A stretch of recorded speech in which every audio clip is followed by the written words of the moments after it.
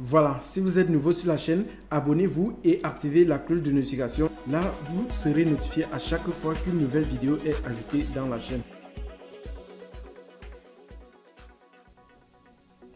Voilà, c'est très très important de maîtriser tous les types de données que l'on peut utiliser dans une application JavaScript parce que vous savez, un vrai programme euh, dans la vie réelle est constitué de plusieurs types de données. Vous savez bien que généralement c'est du texte, des nombres, des, conditions, des booléens et tout ça.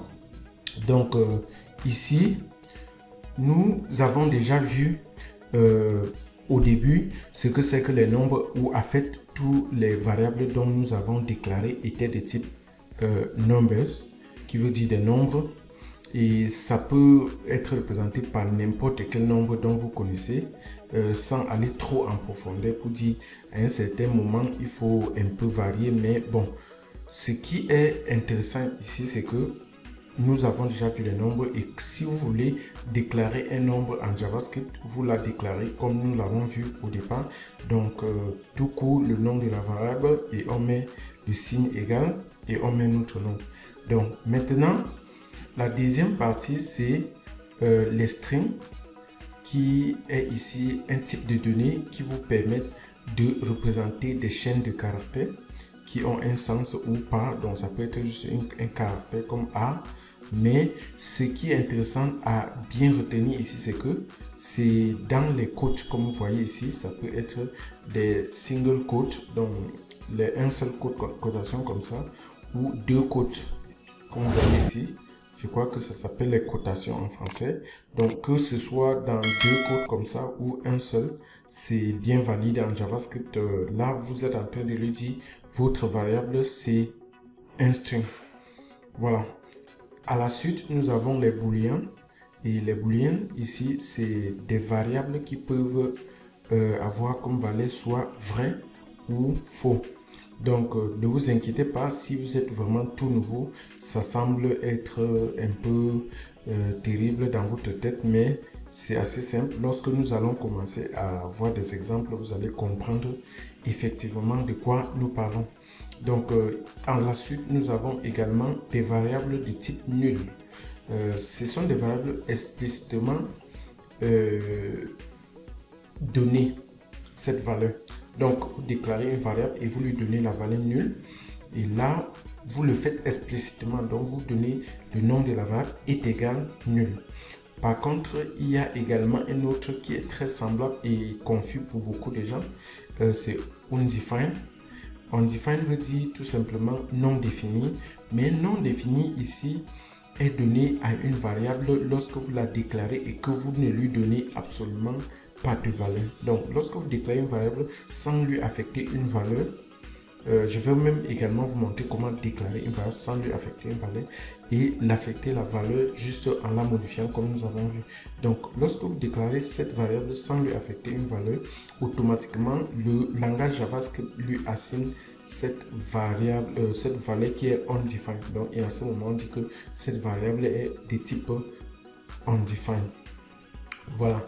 Euh, maintenant, nous parlons ici des variables de type objet, object. Euh, ce sont des données, euh, des variables de type complexe. Ça vous permet de stocker plusieurs types de données euh, comme des arrêts, des dates, parce qu'une date contient beaucoup de choses, des arrêts, peut-être même des, des literal objects, donc des objets ordinaires JavaScript qui ont beaucoup d'autres propriétés.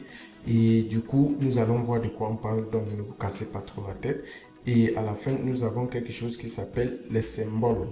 Euh, beaucoup pas utilisé, mais euh, lorsqu'on veut déjà déclarer une variable de type symbole, il faudrait que on soit en train de travailler avec des objets. Donc, euh, ce sont des keys qu'il faut vraiment retenir et pouvoir vraiment discerner qu'est-ce qu'un nombre, qu'est-ce qu'un string boolean nul? Undefined objet et symbole. Parce que ici, nous aurons besoin de ça pour donner la logique à notre programme. Vous savez, euh, selon ce que vous voudrez obtenir comme résultat, selon ce que vous êtes envisagé faire, euh, selon ce que votre programme est censé faire, vous aurez besoin de, de ces différents types de variables au fur et à mesure pour adapter à votre contexte. Donc c'est très important et la chance c'est que le JavaScript n'a pas n'est pas trop beaucoup centré typé. Donc c'est pas un langage typé comme on dit souvent.